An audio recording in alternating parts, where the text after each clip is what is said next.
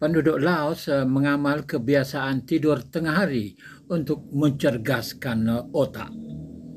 Ini semua di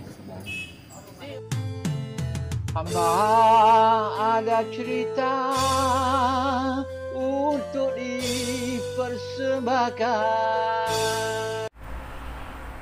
Assalamualaikum, salam bahagia saudara dan saudari yang berada dalam 5 menit kali ini saya akan berkongsi dengan anda uh, tentang kebiasaan orang Laos tidur tengah hari.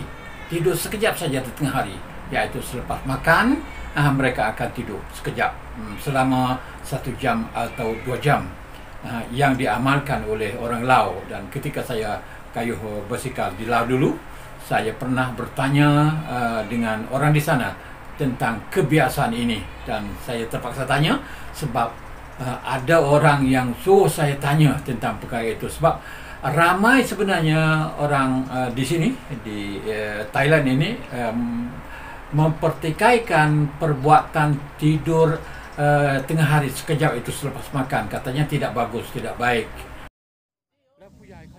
Lung eh, uh, Sombun memberitahu orang Laos uh, berehat di tengah hari dengan tidur uh, selepas makan selama 2 jam.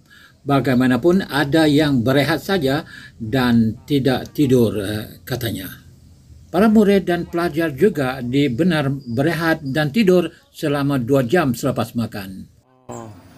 นอนนอนนี่กี่ชั่วโมง สองชั่วโมง สองชั่วโมง นักเรียนกี่ชั่วโมง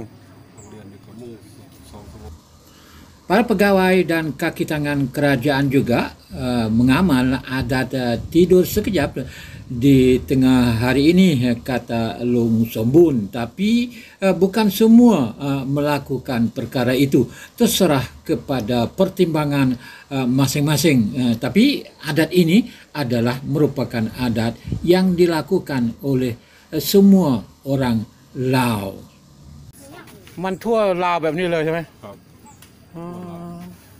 อ๋อทั่วลาว มันเป็นเป็นประเพณีใช่ไหม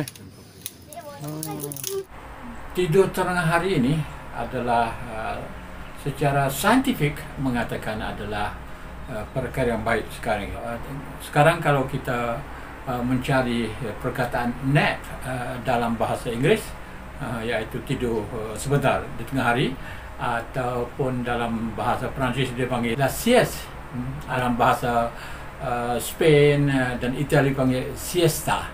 Aha.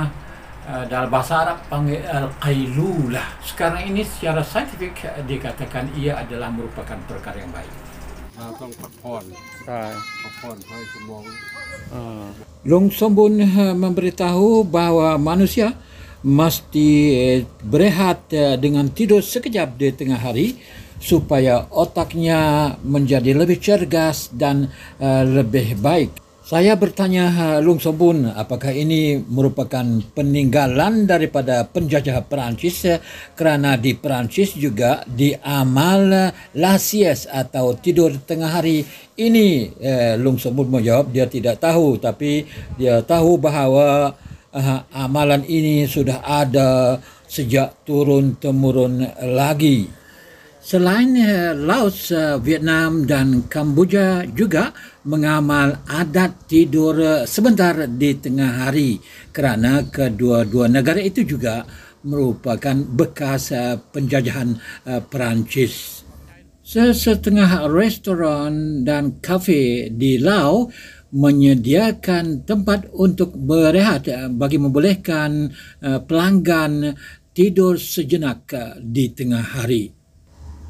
Bagaimanapun uh, tidur tengah hari yang dianggap sehat ataupun merupakan uh, tidur kesehatan itu adalah tidur yang sekejap saja bukan tidur yang uh, berjam-jam lamanya kerana uh, saintifik juga mengatakan bahawa tidur lama di waktu siang, waktu tengah hari, tidur berlebihan melebihi daripada 9 jam akan menyebabkan kita didatangi penyakit uh, dan lekas mati. Dengan itu berwaspada, berjaga-jagalah tidur tengah hari pun pastilah uh, singkat dan ringkas sekejap saja. Setakat ini saja 5 minit kali ini dan kita berjumpa lagi di 5 minit akan datang.